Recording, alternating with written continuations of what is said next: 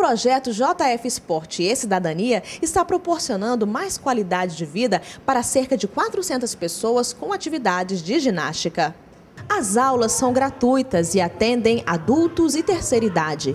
No bairro Santa Terezinha, 120 pessoas estão cadastradas. Esse é o projeto JF Cidadania. Né? Temos vários núcleos diferentes, com atividades diferentes.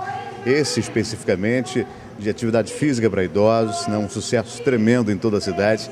E temos também vários outros núcleos, natação, hidroginástica.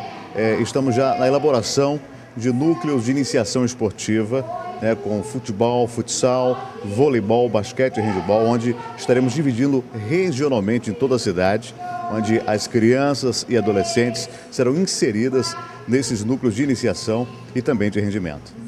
Professora do núcleo, Ione Berg, conta que o exercício físico contribui para a melhoria da saúde física e mental.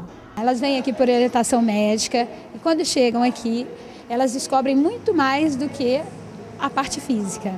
É o convívio social, a parte emocional, a parte é, física também, que apesar de não, não darem a maior importância no momento, mas é tão importante quanto.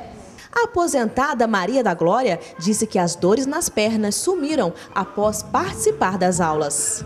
Deitava, estava doendo, andava, estava doendo, ficava em pé, estava doendo. Não tinha sossego para trabalhar, entende? Agora, nossa, eu sinto uma menina de 15. Sumiu minha dor nas pernas, graças a Deus. Mesmo com hérnia de disco, Terezinha Nascimento é aluna frequente.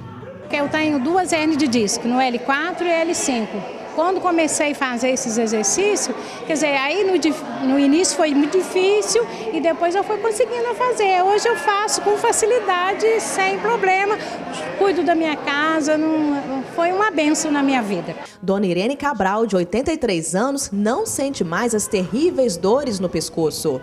Depois que eu comecei aqui com os exercícios, olha, hoje eu posso movimentar tudo e não sinto mais nada no meu pescoço.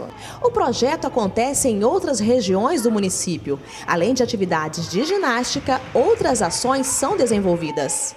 Caminhada, atletismo, é, basquete, vôlei, todas, hidroginástica, natação, natação que temos grandes núcleos de natação, temos um com 200 pessoas participando, então os núcleos são diversos, em todos os setores nós estamos fazendo regionalizados, procurando atender a toda a Juiz de Fora. Para quem deseja participar, o chefe do Departamento de Lazer e Atividades Físicas informa o telefone de contato.